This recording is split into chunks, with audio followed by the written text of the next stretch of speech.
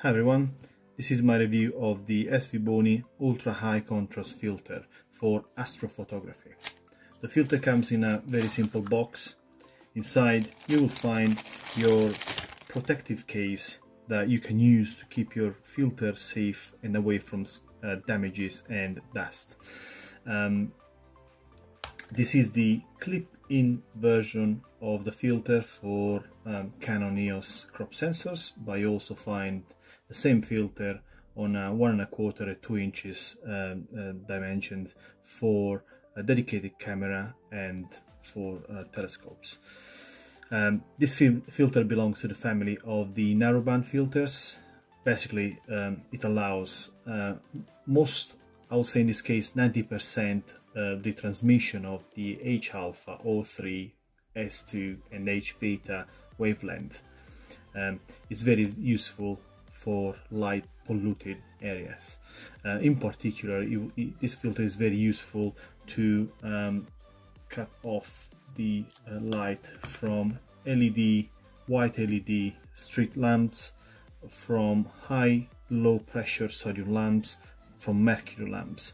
Um, by using this filter you'll be able to keep your background darker and maintain um, unchanged details of your deep sky object.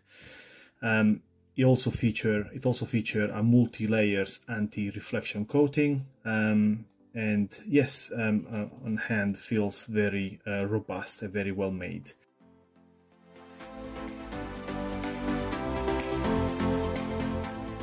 I'm gonna go ahead and show you how to fit this um, clip-in filter into the DSLR camera. Um, it's very simple the process. You remove your lens from the front of your camera, place your camera down on a sturdy surface, you remove your filter by using the allocated area within the uh, protective case. My personal method is to put position the filter at the bottom of the um, allocated area within your DSLR and then let the filter go down and then press from bottom and top and then from the two side make sure the the filter is very well positioned and then you fit in again your lens. Job done and ready to go. To remove this filter same process. You remove your lens position your camera down. I personally prefer to hold down the bottom part of the filter and press down and pull up the top part of the filter. Is um, it's more simple to do than explain but yes it's um, it's very straightforward. Um, the the filter fits very well the DSLR once out put your filter back into the protective case and close.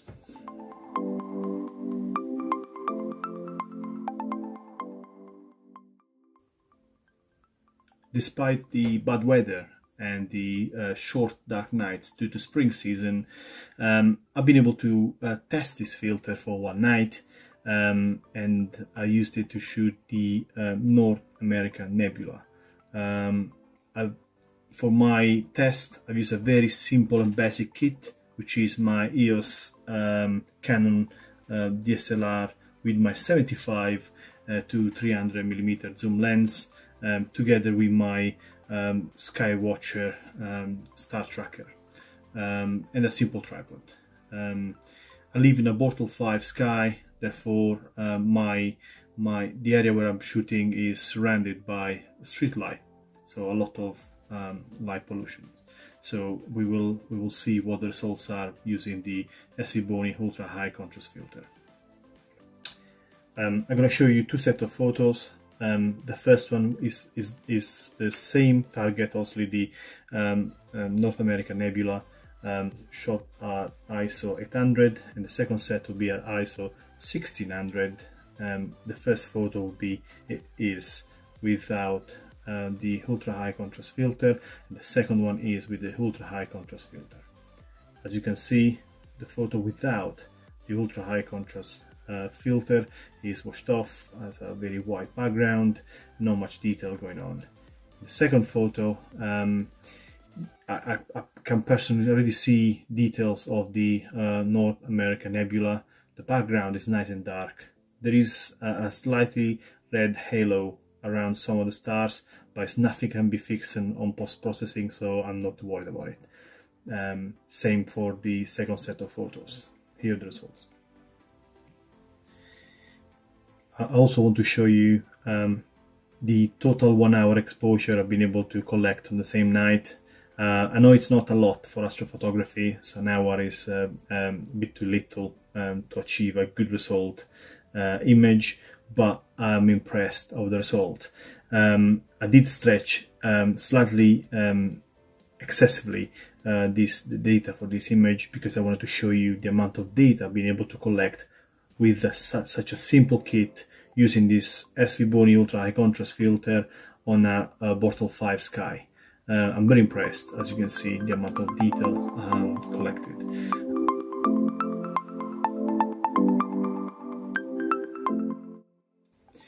Overall, um, I'm impressed and very satisfied of this filter. Um, considering the price um, for uh, this SVBONY product, uh, which is um, way below the, the average price for the same type of filters, uh, I'm, I'm, positively uh, impressed. Uh, I will keep testing this filter, I keep sharing the results, and I look forward to test this same ultra high contrast filter with the new SVBONY telescope SV503 800, 80 millimeter. Um, I really look forward to it. Um, in the meantime, I will uh, leave the link uh, below uh, and my bias for the um, to the uh, eBay and homepage for the SVBONY. And yeah, that's it. Thanks for watching and please guys.